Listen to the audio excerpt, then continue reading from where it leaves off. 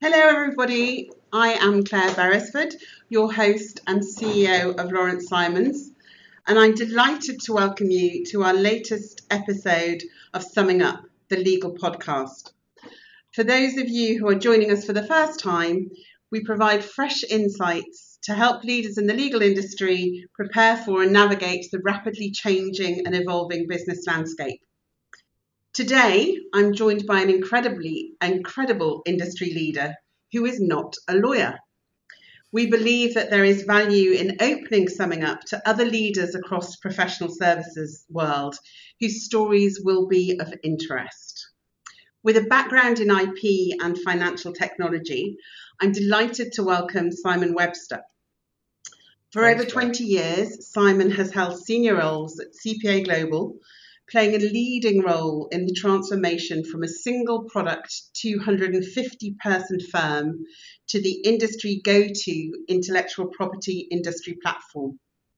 During his time leading CPA Global, he doubled the value of the business, reaching over a 5.5 billion sterling valuation and led numerous mergers and acquisitions of businesses across the globe, including CPA Global's merger with Clarivate.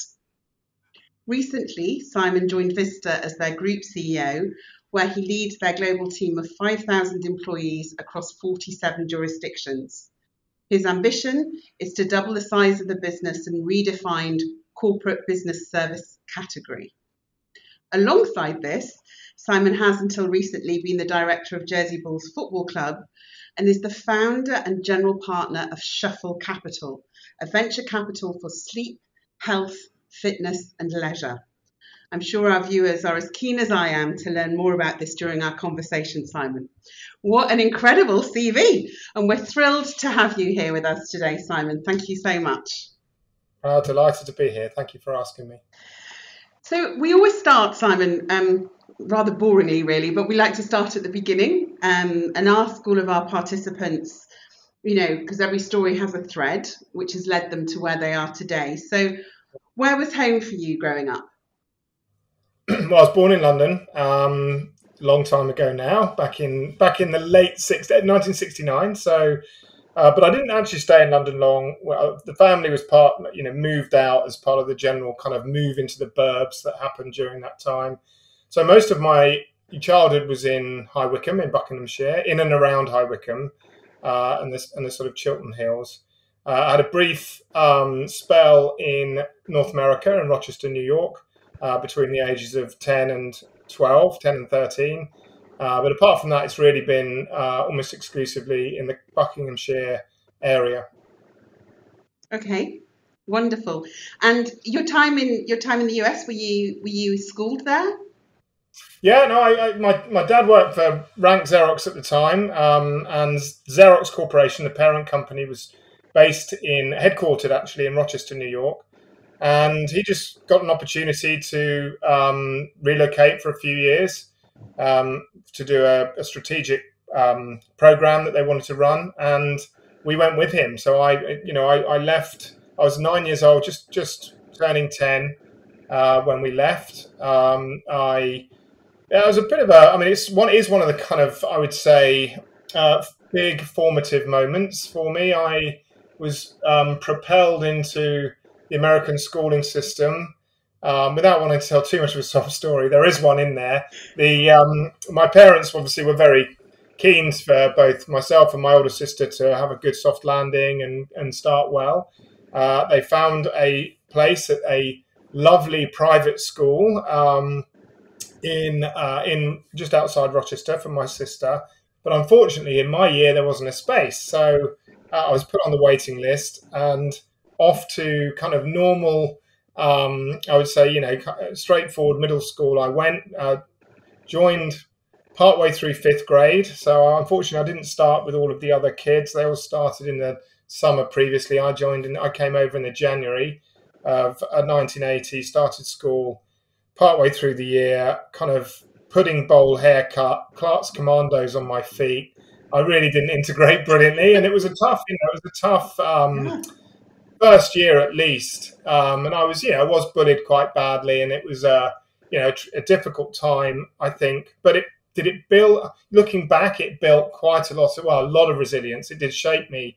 Not that I realised at the time, but it did really strengthen me up. And, and in fact, when when um, a space opened up the following year at the private school where my sister was, um, and my parents said, "Right, we've got a space for you," they offered me the chance to move. I said, "I'm not going." Um, and my mum said to me, "Why?" And, and and I said, "Because they they would all think I was a quitter." And that was my response to kind of that sort of first year was I'm just going to dig in. I'm going to, you know, and I'm going to make this work. Um, I didn't, as I say, I wasn't sort of conscious at the time, but it was now a huge part of, you know, my resilience, I think, and my my character was formed during those those years.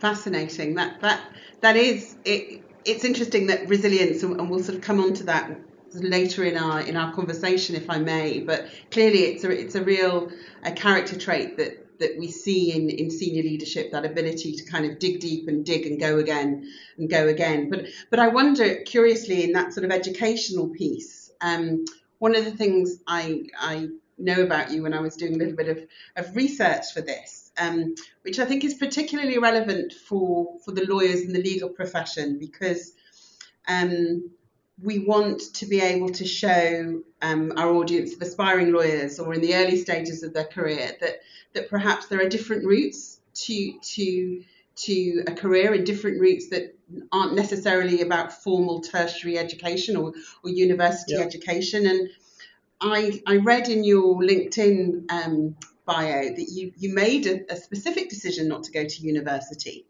Um, yeah. Can you talk a little bit about that, please?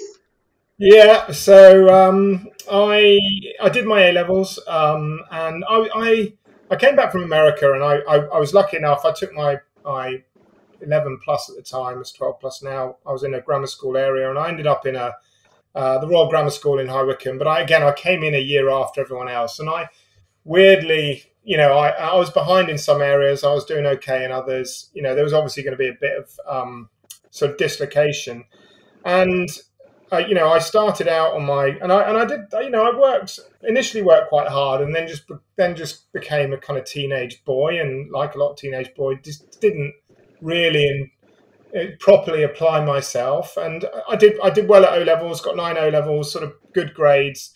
Um, but um, I didn't really work hard enough. And so when it came when I did my A levels and but but sorry the, the sort of key point here is is that I actually one of the subjects in which I was behind at was maths when I came back over, and and it took it was weird because I was seen as being a, a thicker at maths all the way through school, uh, and then I just got some tuition. My parents got me some tuition going into my O levels actually, and and then all of a sudden the light bulb came on for me with maths. It was weird. It was a uh, the maths the, the, the tutor was a t- was the parent of a boy in my class who was very good at maths and he was a rector at a local church, and he was a brilliant maths tutor. And it just turned the light on for me, and I and I did very well at maths at O level. You know, all of us shocked everyone really. I, I in my mock, I think I got ninety six percent, and in my I only got a B, unfortunately, at O level, but it was still you know way better than anyone would have expected me to get. But I, but the die was cast a bit, and I chose my A levels around the subjects which I'd found, you know, I'd been doing previously. I didn't really know what I wanted to do. My mum was a linguist, my sister was a linguist, so I chose French, German, and economics. Hated French and German, um, loved economics, and actually, when when but, but but the kind of key point to it is, as I was playing football uh, in the pupils versus faculty teachers game at the end of the year at Bisham Abbey, and I snapped my cruciate ligament in that game. And soon as I finished my A levels, I went into a plaster cast, non weight bearing, you know, just completely sort of immobile. That's how they used to do it back then. And, um, you know, told my parents uh, that, you know, there was no chance I was going to be going to university with this big cast on my leg. Um, that would have been, you know, ruined my first year, etc., et or, or, whatever the kind of, I can't exactly remember how the conversation went, but yeah. it was agreed. Um, and so, but they said, well, you're going to get a job. So I went and got a job and uh, up in London, um, and it was a, you know, not it was collecting unsecured subprime credit, subprime credit. It was a, you know, it was a pretty gritty job for an 18 year old, 18, 19 year old, and I, I went up on my crutches, you know, uh, got, got the job on my. Got, I went to an interview on my crutches up to Victoria from leafy Buckinghamshire. I think that was one of the reasons he gave it to me. Actually, he was so impressed that I'd hobbled up there on my own. Um, and you know, I, I, loved it. I loved the job, and um, and when it came time to sort of reconsider going to university and so on, I told my parents I didn't want to. I was enjoying work. I was I was loving traveling up to London with my briefcase with just my sandwiches in it. I loved being part of the whole scene and consequently, I I decided we, we you know much to I think their annoyance and so on. I decided you know we decided I'd carry on working, and I and I did well. I, you know I was kind of progressing through largely through luck, but also just being you know making sure I could take advantage of the luck when it when it arose. Mm-hmm. Um, and and I, I, guess the sort of you know the, the final point on it was that I did recognise that I needed to do something to uh, progress my um, you know make sure that my career wasn't held back by the by the fact that I didn't go to university. This was pre the days when you know this was pre Tony Blair when the university system was opened up. You know, you know, my, my mother was the first person in her family to go to university, um, and so you know it was still relatively restricted at that point mm-hmm. anyway. Mm-hmm. But but nevertheless, it was going to be a factor, and, and so when I I talked to a mentor um, who, who I was working with, working for, and he, he said, "Well, be, become an accountant. You know, you can train to be an accountant um, while you're working." And and I was thinking, "Oh my god, yeah, but, but that's very mathsy." And as it turned out, you know, I I just basically sailed through all the exams, passed first time, uh, found it very and, and have just learned to love maths. So it is a weird one. I'd say there's a few few lessons in there. You you may not be the things that you're you love and you you're good at may not be as evident as they could be mm-hmm. as you're coming through your schooling years. So, you know, uh, they certainly weren't for me. And even though in the end it obviously worked out well, there are many paths to, to take uh, before you get to, you know, a fully formed uh, version of yourself, you know, in, in, in, a, in terms of a career. So yeah, so that's really the backstory. Um, I've told it a few times. People people do. I mean, there's a, there's a, a, lot of funny other funny things along the way, which I won't share with you now. But um, you know, it, it is a it, it is uh, it is I think a very important part of you know it's, it's made me who I am. Again, it's sort of additive to that um, sort of core. Uh, of, of who I am is are those decisions or things that happen to me along the way and sort of move me in certain directions? It, it's interesting, isn't it, that if you if you you take the fact that you didn't think maths you were good at it right? You didn't think that you had that skill set and then you were sort of in an in in spite of yourself almost because of your parents being you know active and and, and good parents who were encouraging and all of those things and okay let's let's give this a go let's try it that you find yourself in in a period of time where actually we're moving towards information technology, we're moving towards, you know, uh, computers, computerizing yeah. things, and and and that job, that role that you were you were speaking about, you know, on your crutches when you're when you're 18 or 19, and there was obviously something in you that was like, oh, we can we can make this better, we can improve this, we can innovate, we can. Yeah, I, I, I was kind of lucky on that because I arrived, I sort of arrived on the scene just as the the sort of personal computer revolution was was coming was was becoming sort of more mainstream. So prior to that point, and actually, you know, when I arrived, it was all mainframes, green screens, and mainframes. So you access, there was one big computer humming away somewhere inside the building. There was no internet. Uh, there was no network, um, no mobile phones or anything like that. You just basically, um, you know, worked on a mainframe computer. Um, but PCs were starting to appear on the ends of desks. They weren't networked at this point, but they did have applications on them like Lotus 123 and Paradox uh, databases and so on and I was fascinated by this. I mean, I, have always been, you know, fascinated by it. I had a Commodore 64. I used to do programming on that. I used to, you know, I, I loved it all. And so when they arrived at the workplace, I was the first one on there, sort of messing around and self-teaching and and get and ultimately, you know, because I think when you show aptitude mm. uh, for something, then you're you're and passion for it, your employer is much more likely to invest into you for that. Um, so I was able to persuade them to give me training courses on spreadsheets and and databases and so on. And and as a result, you know, this was this was a, a period where you could you could actually create massive amounts of value just by just by creating a spreadsheet. Um, it was, I mean, it sounds ridiculous now because spreadsheets run the world, but um, back then it was kind of totally revolutionary. And and and I was lucky because I found myself in that spot, and I was able then to use like data and uh, you know in a progressively bigger way, bigger and bigger way, use data and and technology to solve you know fairly sizable problems uh, inside the organisations I work for, and, and sort of built this career around really operational change, operational improvement, operational change. Um, founded on on you know combining that with the kind of accountancy management accountancy is really all about um, understanding what's going on and making good decisions on that so you know you can see how combining the ability to understand what's to, to get the data and manipulate the data and analyze it and put it into forms that people can use, and then apply you know my my training and my knowledge to that.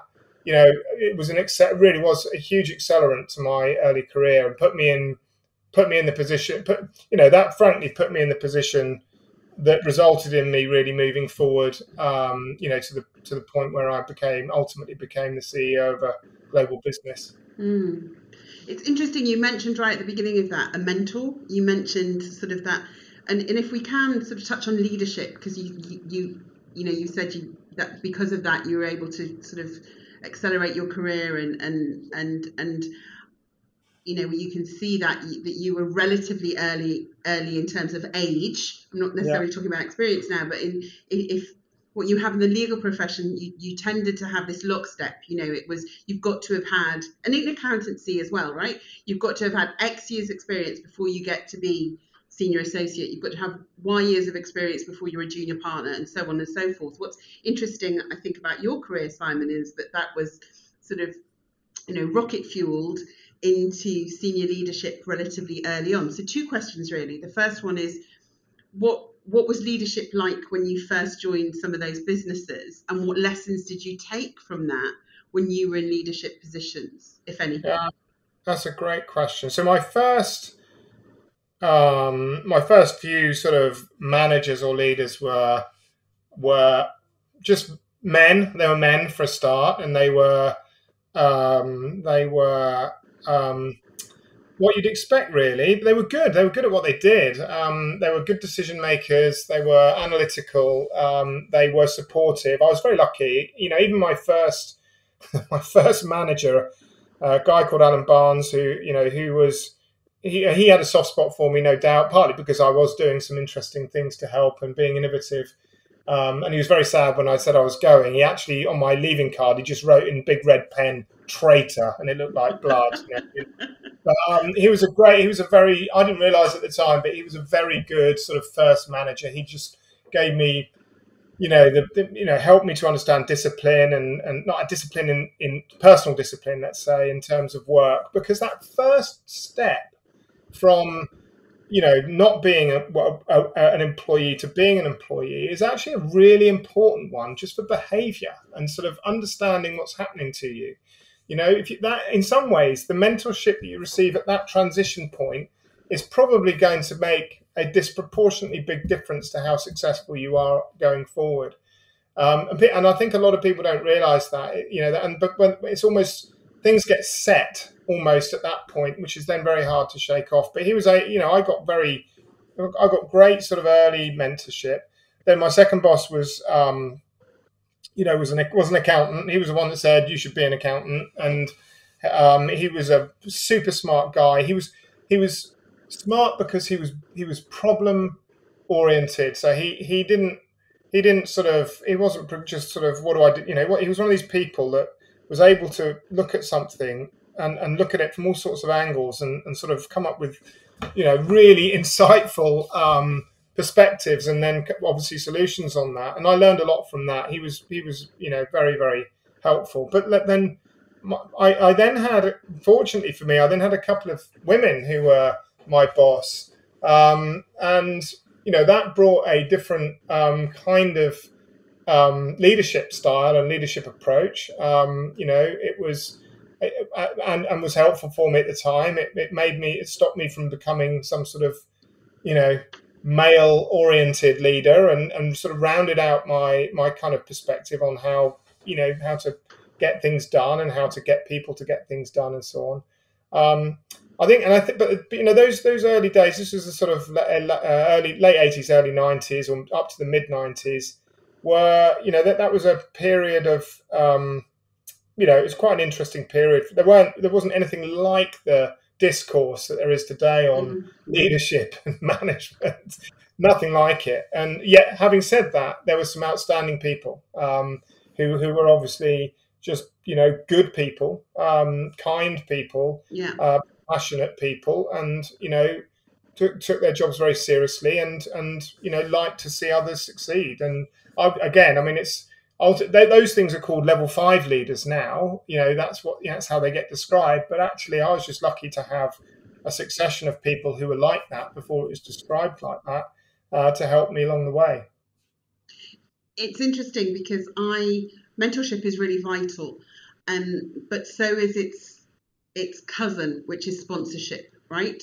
And having those people in an organization who really have those proteges, right? And it sounds to me that there was, at each stage of that career, there was somebody who put you into a room or said, Simon could do this, or, you know, when hands were being put up, they, they perhaps volunteered you or co opted you. Or, yeah because I, I, I, think that there's a role in life now in terms of that leadership responsibility where you're looking at talent and how talent can come through and sometimes it's it's it's um figuratively wrapping arms around people to say you've got this come on i i, yeah. I can i can spot that in you so, somebody at some point simon spotted something in you that perhaps you hadn't spotted in yourself no, very true. To say? Yeah, no, very true. I mean, actually, sponsorship is uh, is um, I'm glad you say that. It's one of the things that I do also talk about.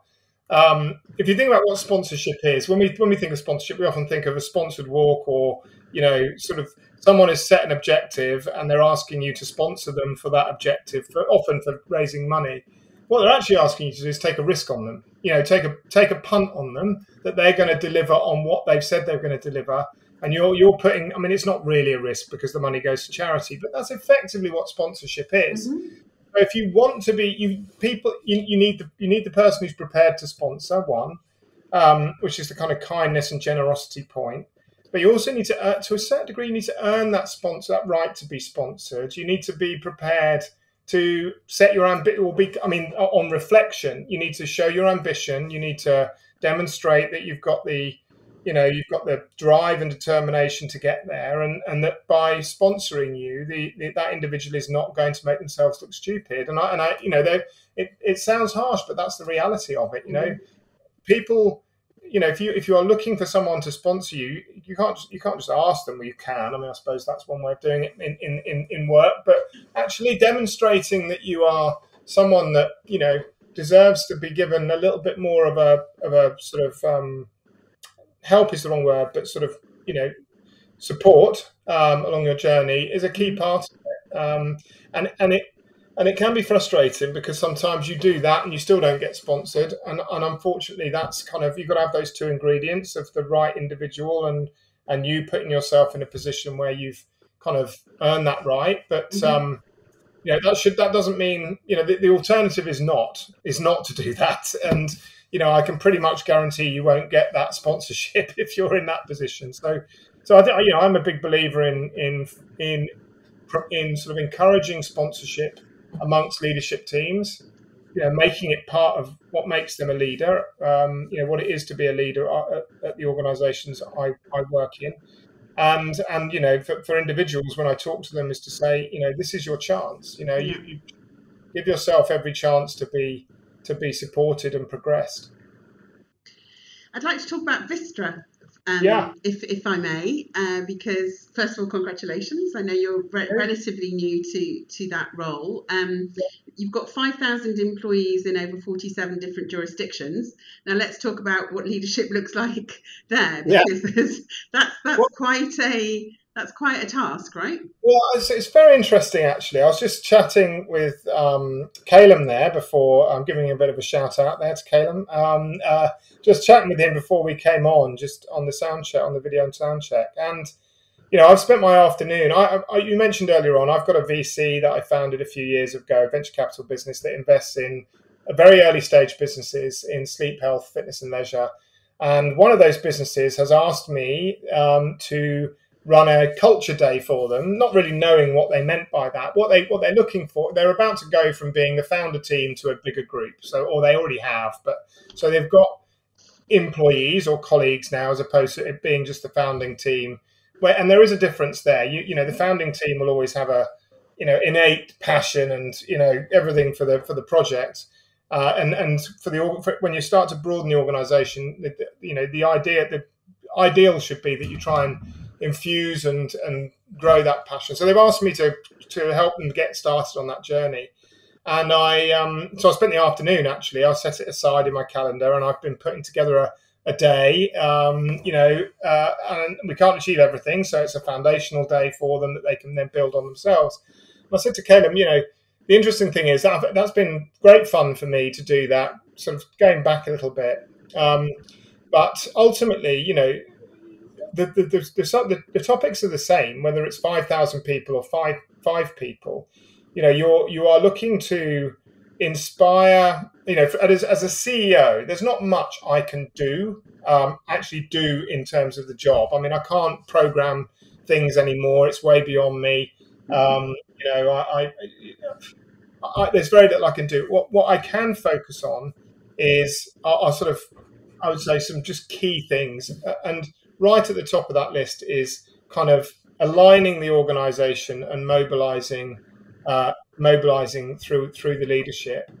Um, and and actually it's, it, the, the, the, fundamental things are not that different you know determine you know making sure that we have a an, ins, an inspirational um, narrative really running through the business that sort of stems from culture but uh, sorry stems from purpose but but sort of um, is a narrative that we that we can really own and and believe in and you know drive towards as an organization uh, that can contextualize all of the decisions that people may make day in day out. And that, so that we make if we make 80% good decisions today then hopefully after this we'll make 90% good decisions. And those are that's where the magic happens in big organizations. It's it's you know if you think um, if you can have an impact, if you by me doing this culture day, I'm probably going to have an impact. Be able, my, the work I do can have an impact on uh, probably ten people. You know, by doing so, by working on these things at Vistra, you know, I can have the same impact potentially on five thousand people. And actually, we're we're doing a merger at the moment where that's going to go up to closer to ten. So we're so you know, it's a but fund- at its heart, it's fundamentally the same things. It's weird. Um, the, the, the, apparatus by which it happens is different. You know, the scale, the complexity, the kind of uh, navigating of, of cultural uh, differences and norms is is obviously makes it more complex. But ultimately, your your your your you know your your goal is to is to galvanize a, a, a group of people around a common outcome uh, and in, give them what they need to be successful and incentivize them to do so. That's that's fundamentally what it's all about, and it and it and that doesn't change really. I mean, that's whether you're whether it's a football team, um, whether it's a you know whether it's a team in in the um, sleep. This actually is a medicinal cannabis uh, business, uh, pharmaceutical cannabis business. But weirdly, you know, um, it takes all sorts. Um, but it, it, could be a 10 person team, a sort of 11 person football team, or a 10,000 global team. Ultimately, it is about, you know, galvanizing that group of people around a common outcome, um, you know, and giving them what they need to be successful and incentivizing them to do it or motivating them to do it, I should say, not just incentivizing, motivating. Yeah, it's a, it's a great answer. And, and I know also at Vistra, you talk about doing the right thing. Um, and one of the five pledges that you have as a business that you've made is around diversity, equity, and inclusion. And you just mentioned in your in your previous answer, Simon, about you know there is a difference sometimes in culture. There's a difference in in, in potentially where you are in the world. So D and I means different things sort of depending where you are in the world, and yours is a, is a global business. So how do you manage that at Vistra? Yeah, it's a, it, it is.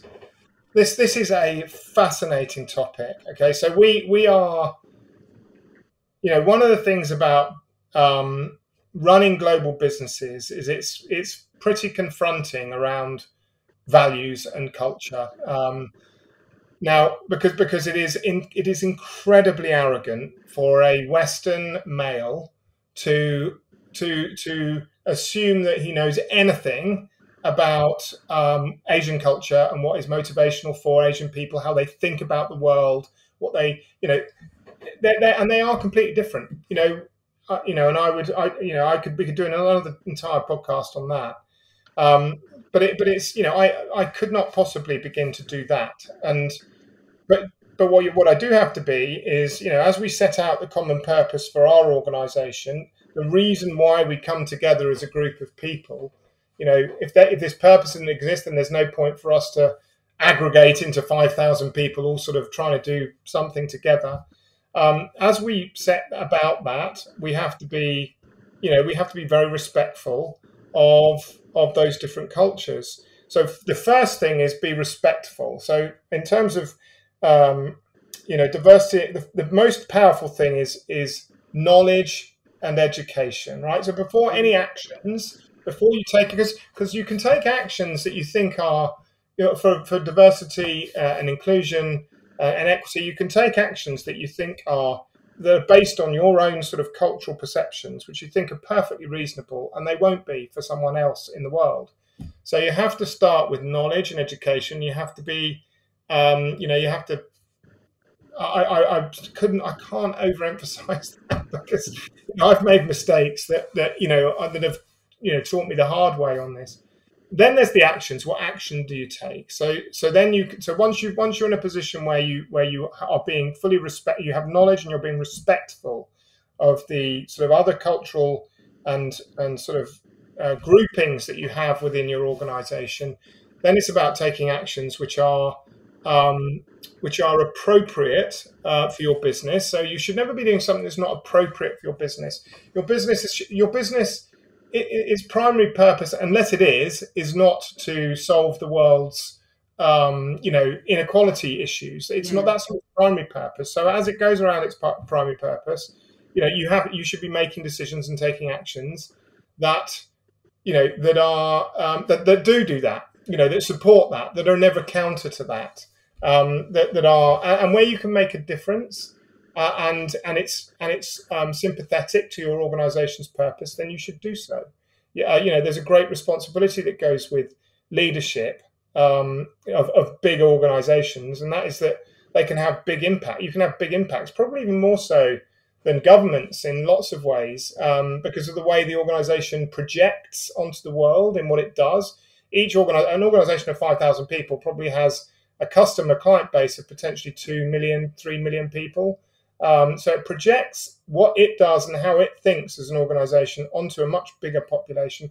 Clearly, the people inside your organization are far more exposed to that. So the impacts you can have are very big. Um, and, and and you cast and as leaders also the other thing I'll say as leaders you you cast a shadow much longer than you can ever imagine. The more senior you are, the more the longer that shadow is, and uh, you're all, people are always looking at you. You know they are always uh, they're always looking to follow your, or certainly to sort of see what you're doing and and you know determine what your attitude is to something, you know, from your actions and from what you do. So as individual leaders and as and and as and, and in terms of how you set up your organization, you know, my don't don't my sort of message is knowledge knowledge and um, and education first. Then, in terms of taking actions, every opportunity you can take to address um, diversity and inclusion that is not at odds with your company's purpose, mm-hmm. uh, then you should you know you should a- attempt to do that. It's not always easy. You'll have to align stakeholders, and you know sometimes that, that can be challenging. Again, cultural norms come into play here. Um, you know we have offices in 47 countries, you can imagine the difference of opinions there are around some of the things that we regard. We've got Pride Month this month. in in the UK, mm-hmm. and you can imagine the difference of opinions that there are across many of our offices about you know those very topics. So it's a it's a it's a tricky subject to uh, you know it's a tricky it's not a tricky subject. So you have to be very respectful. You have to be very careful uh, in terms of not you know othering people. You know just because you know that you don't yeah. you, they don't agree with you, pers- your personal views, um, but also look to you know bring them bring those people up and bring them forward uh, where they are disadvantaged or where they do have you know um, barriers uh, that are you know, that can slow their progress, uh, you know, uh, and, or lack of opportunities. I mean, it is a big answer, but it's also a very, very big subject, and it and it just it it requires kind of, as I say, the most important thing is to is to think very, very clearly and carefully about the about about what you are doing. Thank you. That I, I, I agree with you that it could be a podcast in its own right. It is something that um, you know we we take very seriously as an organisation because obviously in, in our world we're being asked and when we get a mandate from a client the diversity of the slate is always something that we have discussions on and around. Um, but to your point that diversity isn't isn't a one size fits all and it isn't it isn't just gender or or or sexuality. You know there's, there's social mobility within diversity. There's there's all kinds of things that that are that are important that organisations need need to look at. Well, look, well, the, the thing is as well, organisations are at their best. I mean, you know, I sort of people say, "What do you, you know, what do you do? You know, what is what is the job of the CEO?" And it's just built, you know, in the in the kind of area that I'm in, it's just building great organisations. And building eight great organisations are, you know, great places to work, uh, do great things, and create huge amounts of value for their clients and they um, generate significant value for their shareholders and they make a big impact on the world around them. Those are, that's what, in my definition of you know this sort of four stakeholder groups to an organisation like ours. There are clients, there are um, colleagues, there are shareholders typically, and then there's the world at large. Mm-hmm. And you know those which and, and those four kind of stakeholder groups I think about in terms of clients is kind of brand. How do they feel about us? Uh, you know, as an organisation. There's with our colleagues, it's culture. How do they feel about us, and how are we as an organisation with them? Um, with shareholders, it's often sort of strategy. Uh, you know, what, how are we delivering value for them? How are we helping them to live, to meet their client needs? And then the fourth, the world around us, around us is purpose. You know, that's that's our impact on the on the world around us. Now, if you if you so measuring progress against each of those four sort of sort of vectors, including purpose, it, you know, you, you can, I think you can, building a great organization, therefore, is going, you know, diversity in all its forms is going to make a, a better organization. If you think about across all those, all those things, culture, you know, you think about uh, brand and brand messaging, you think about purpose and the impact we can have in uh, areas of the world. All of those things are served by diversity and in, obviously in inclusion. So, you know, it is a it is a truly you know very powerful component of building a great organisation. Um, as I say, the only thing I would say is just don't don't have a closed mind, don't have a sort of mm. blinkered mindset about what it means because you'll be wrong. And it's interesting, isn't it? Um, how the that ability to keep that open viewpoint, that ability to to get curious around. Well, tell me what it's like in your in your country. Tell me what it's like. You know, um, always be able to um, listen and really hear what is being said. I think is is one of the key skills of, of, of great leadership. Right? It's it's sometimes. Yeah seeing what hasn't been asked in the room or, or what hasn't been said is sometimes just as important as, as what has been said. Um, well, that's the knowledge. That's what you mean by knowledge and education for me. Is you know take the time to understand the, the you know the real picture here. You're resp- you know as a lead as, as a CEO, I'm responsible today for five thousand plus people's professional careers. You know that's a really that's a massive responsibility. You know, but I'm responsible for all of them, not just the ones that I, I agree with culturally, or you know, I'm responsible for all of them.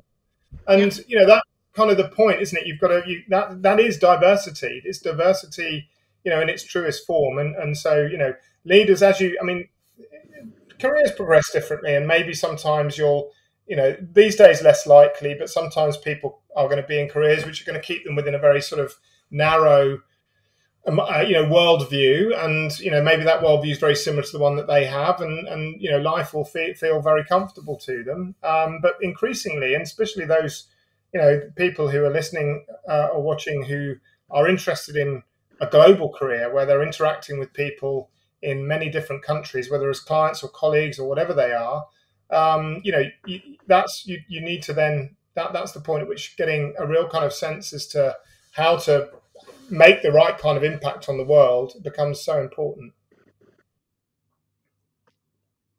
As we look forward, right? As we look forward to what are we what are we living with? How are we adapting as human beings? The, the sort of the, the topic that is on everybody's um, agenda today across all businesses artificial intelligence machine learning call it what you will but we're seeing it within the, the legal industry um, and we know this is the same across many sectors curious to understand for you simon in, and in your world how is it impacting the businesses you are working with your, your you in, in your business or, or your clients um, you know you've, you've always been at the forefront of some of this innovation and, and change throughout your career so what yeah. are you seeing today? Well, I mean, at the moment, I would say we're not, we're not actually seeing a lot yet.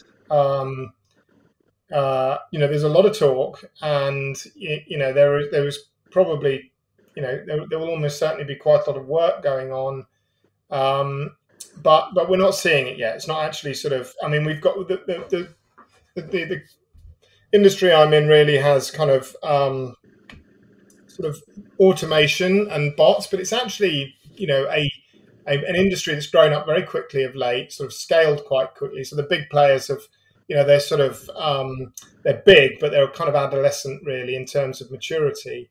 And so the digital maturity is relatively low compared to some of the other industries like legal and and um, sort of more the more kind of traditional fintech areas. Um, but but you know the, the the big topic it is a big topic. You know it's as big as the internet, but it's going to actually happen a lot faster than the internet happens because the internet is a is a you know a fuel for it. Uh, it's a it creates far greater access. So the thing, so, so it's so for a for the for a CEO or a leader of business, the big thing at the moment is understanding what is the risk to my business from this. Uh, rather than what is the opportunity. Now, the two are two. You know, I see two halves, two halves of the same whole. You know, we, by understanding the risk, what could AI you know disrupt in our in our industry in our company also represents something an opportunity for us to get ahead of that um, you know i'm on the back i am on the i'm on the i'm in the camp of ai generative ai being a uh, an augmentation rather than a replacement technology um, there are some areas where it will replace but i think for a lot of what um, account because my business is a lot of accountants in my business my business basically is a you know, it's effectively a kind of a it's, it's, it's, big parts of it are based on accounting. Um, some of it's on sort of legal, quasi legal, company secretarial, and so on.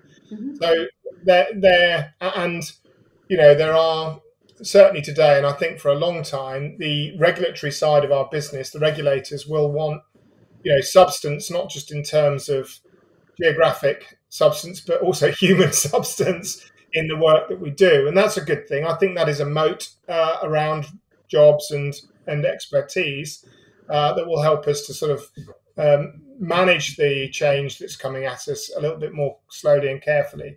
But but so so what we're focusing on as an organisation is understanding you know the potential disruptive risk to the services that we provide today. I'm very you know I'm thinking about it first and foremost as a as a sort of not how can we take advantage of this, but you know, how might this hit us and change us, and and you know, how how might our clients demand that mm-hmm. uh, we do things differently, uh, and what implications will that have for us as as people inside our business, our ways of working, the way we the way we work, and so on. Um, but but at the same time, you know, as I say, these we, we you have to be forward looking. It can't always be about risk. So the, the the flip side of that will be to say, where can we augment some of the things that are today sort of frankly so holding us back. So, for example, we looked at a bit of technology recently, uh, which sort of acts as an internal AI. Um, so you you it, it it's not a ChatGPT or anything. It's inside your organization.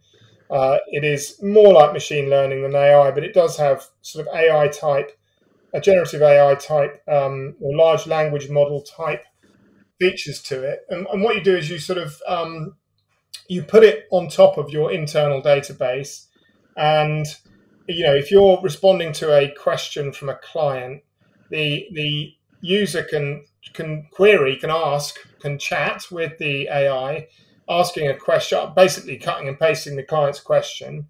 And the AI will not only be able to identify the documents or area of things inside your database, and they might be laws, they might be rules, they might be regulations. It will identify the relevant ones and and um, you know and reference them in the answer, and then provide a summary answer that you can you know provided it's sensible and makes sense, you can cut and paste back into the email. Now, that what that that the, the expert piece of that is still going to take place because of the review that's being taken by the expert, but the dull bit of going and finding all the details and referencing all the documents has been done for them. Mm. So there are some areas where we see opportunities for augmentation. Um, but yeah, it's a, it's a very hot topic, obviously. I'd like to change gears a little bit now, if I may, and, and talk to you about your other um, day job. um, and we recently learned, well, we, we, have chosen at Laurence Simons to shift our language a little bit around um, uh, mental health, and we choose to use the term mental fitness because we view it very much as an active, um, participative um, something that consistently needs to be worked on, like physical fitness, right? It's not a static thing. Um, and it needs to be have a daily practice to it. Um, your venture capital business, Shuffle, invests in happiness and supports organisations, as you said, in the sleep, health, fitness, and leisure sectors. I'd like to know what drove you to set that up, Simon, and and and and can yeah, you tell us a little bit more about it, please? Absolutely, yeah. So it was um, uh, around 2009, sort of partway, halfway through my time here in, you know, at CPA in Jersey, I I suffered a kind of a mental health crisis um, brought on by a life change, um, life changing event, and I, uh, you know, I struggled to. You know, I kept going to work. I, I sort of, but I was really struggling, and it was horrible. It was a horrible experience, and I did everything I could to try and overcome it. It was really anxiety, mainly anxiety and insomnia for me. Um, and eventually, just through doing all sorts of different things, acupuncture and uh, you know CBT, um, mm-hmm. boiling banana skins, all sorts of things. Uh, I, I, got over it. it. Took? It took a while. Exercise, fitness training, help you know, very extensive fitness training. I did get over it, and, and I you know, and I sort of to myself, I made the promise to myself that I, when I finished work, I would that I'd go and help others in that situation. Well, I did finish work when I sold CPA. I thought that was it. I thought I was going to be retired forever, um, and I founded the VC really with the rather than sort of just I mean going working for a charity or, or being a counsellor myself. I thought, how can I actually do this at scale? How can I have a big impact? Mm-hmm. Um, so I founded the, the, business. I decided, came up with the idea of, of, of, of, a venture capital business that invested in companies that were working on solutions really for primar- primarily sleep and mental health, um, but sort of a bit broader than that, um, covering, as you say, wellness, um, sort of preventative wellness. So the spectrum really is, as you say, preventative wellness and and you know um, and mental health uh, remedies, uh, including um, especially in the area of sleep, which we have a real passion for. Um, so that was how it came about, and um, you know we we we're still you know we, are just about to raise up. We've just started fundraising for our first fund, our first external fund, which is hugely exciting. Two of the guys that I work with at CPA, one of whom you probably remember, Claire, uh, are working with me on that.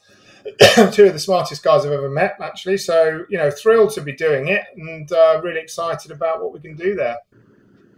Oh, that, that's fantastic. Genuinely, I think if the world had more um, entrepreneurs in that way who bring it right back to the beginning. You understood maths. You understood. You then did accountancy. You you know you, you you understand that world and understand that money is actually just an energy. It's a tool. It's a tool that allows you to to have impact. So yes, exactly. Yeah, no, exactly right. That's that's the way I saw it.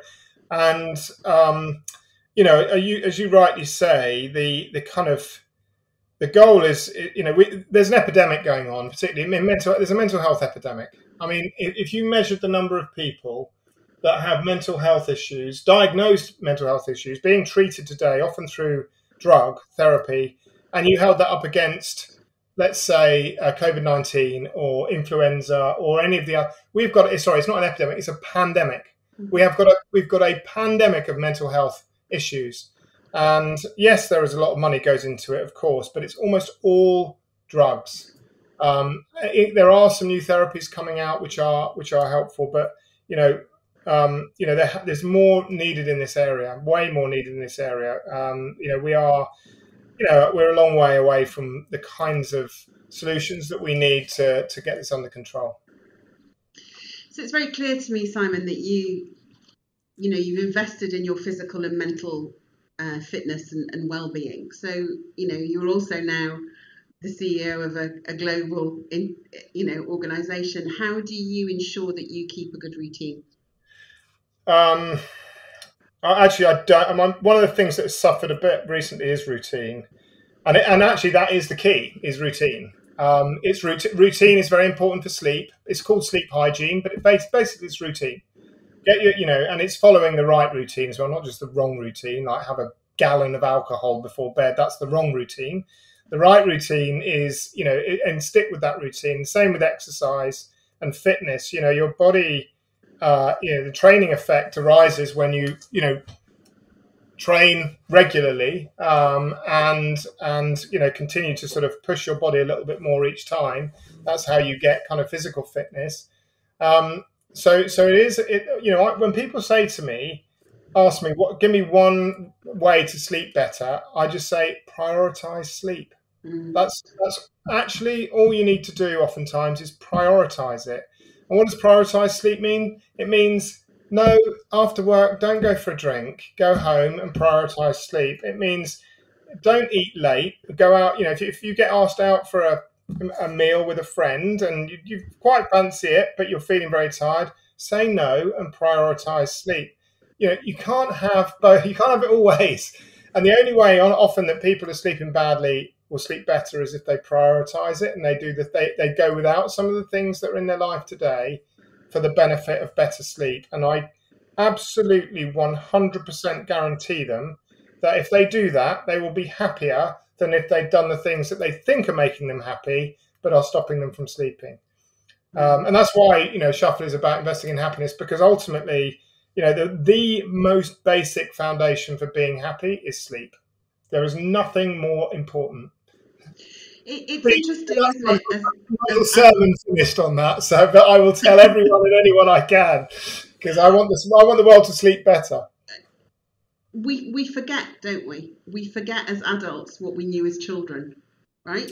If you if children, their capacity to sleep, their understanding that they need sleep, their ability just to take sleep, right, is is is how they can grow and be active. You know, you you literally see it amongst. Well, I'll tell you something else there. The, the interesting thing about sleep as well, it's self defeating because unlike um, exercise or nutritional diet where we are conscious about what we are doing. You know, we are there in the moment doing that thing, exercising, eating correctly, or whatever. The problem with sleep is we're unconscious when it's happening. And so it's very hard for us to, we, it doesn't have the same presence in our minds as an active activity. It's almost self defeating like that. And, and that's why you have to put it first. It can't go second, third, or fourth. It has to go first because it will sleep will become the thing that you do with last unless you do it first. But you're right. I think as kids, and my son is a great sleeper, but partly because we made sure he is. Um, you know, we did the things that will, you know, we, we made, you know, we, we we did the things that we felt. And it's not always right for everybody, so I'm not going to give a I'm not going to give a sermon about how to get your child to sleep better. But but we did the things that we believed would help him sleep. helped by someone who was a sleep nanny, and it worked really well for him. And he's a great sleeper, and because of that, I genuinely think he's a happy, well balanced, uh, learns brilliantly. He's great at maths. Um, mm. Five year old, so you know, I'd like to, that tiny little bit of evidence is all I need really to keep on keep on um, you know preaching. Oh, well, I wish you all the success with it, Simon. I, I think you you and your team are are destined to be making some great headlines in the not too distant future. And um, one of the things that I do want to just touch back to the to the Vistra world though, please, because you've been there less than a year. Yeah. Um, and and you mentioned earlier about potentially that you're being in acquisitive mode again. Um, but if you could just share with us maybe um, what are your plans or, or visions for, for the future for your business, or what have been the first things that you've tackled on your to do list? Yeah, so I, I, I um. I, I, when I left CPA, I had I, I wanted to, you know, I, I didn't think I'd be working again. And when I thought, well, I'm getting a bit restless, maybe I maybe I do want to do some big stuff. I never thought I'd find another opportunity that was similar, where we could genuinely sort of have an impact at an industry level. And funnily enough, the first thing I got off, uh, proposed to me was was this, and and and the, and the opportunity is there. You know, we, this is an industry, as I said, which is a terrific industry. It has a very wide ranging impact. It could best be described as kind of the investment execution life cycle. So that's from the moment either a uh, a fund manager or a corporate enterprise decides to spend money for the purpose of doing something or investing in something, that the process of executing all the way along, and you know, there's all sorts of participants in that life cycle, lawyers, as you well know, um, uh, accountants, kind of regulatory bodies, uh, all sorts of people. You know, pay you got to pay your employees. You've got to you've got to you know you've got to um, be have an employee of record um, types of structures. There's all sorts of things that are needed uh, to make those things a reality. But they, but it's quite fragmented. It's a sort of ecosystem that still largely sort of works together in clumps around specific areas. And we generally, but genuinely believe that you know there's an opportunity to significantly improve or enhance the way that ecosystem works. So, so our vision really for the business, you know, we we are we're you know, we're, we're, we're working hard at the moment on kind of uncovering, as Caelan put it, uncovering our purpose. But it is, you know, I've, I've sort of described that sort of investment execution life cycle as, as the process of progress because it's through investment really that big things happen in the world. You know, uh, we overcome climate change, we'll overcome pandemics, we'll, you know, deal, help to address poverty and inequality. Um, and that happens through investment and then investment that causes that progress. So we're, we're not the capital allocators. We don't we don't take the investment risk, but we are the execute we are the execution side. So the process of progress is is what is is the process that we're involved with, and, and, and we we're sort of saying, you know, at the moment our working title is uh, empowering the process of progress. So we're we're there to take friction out of the system, so that those who do make those big investment decisions, who are taking the risks, they are never sort of put off or constrained by the thought of execution. We're making that as easy as possible for them. And by doing so, hopefully, we can have an impact on investment and progress and the speed of it across the globe. Um, and you know the the way in which we'll do that, the sort of um, the vision that we have for the business for that purpose is really to connect the ecosystem much more fully than it is today. So it's somewhat fragmented across multiple kind of areas, and, and we, we are one of those areas. We play a big part, but we have an opportunity to connect up uh, those ecosystem players into a much more coherent, frictionless process for our clients, the people who take the decision to invest uh, and pursue that progress that we so desperately need. So, so that's the kind of, if you like, the kind of aligning narrative that we're create that we're building at the moment. Um, Day, the sort of immediate task is to is to complete our merger with Tricor, which is a very big 3,000 person business in Asia, Asia cha- uh, regional champion really in Asia. That's really going to take up the rest of this year and, and, and a lot of and a big chunk of next. But alongside that, you know, crafting a new a, a refreshed narrative for our new organisation as we come together, and really sort of set, getting everyone aligned behind that is kind of job number one for the new CEO. Wow. Um, I know that you're going to succeed in that, Simon. So the, there's there's no need for me to wish you good luck, but I um, I do wish you well with it. Um, we end every podcast with the same question, which is, what's the one thing you can't live without? Holy moly! Um, my wife. she, is, she is. She's the. Uh, she is the. Um, she's the big enabling force behind whatever I do. I'd like to think I'm the same for her, but she probably wouldn't think so. But she is definitely that to me, so I will say my wife. Oh well, Mrs. Webster, thank you very much, and to to Mr. Webster, thank you. Thanks, Claire. Lovely to see you.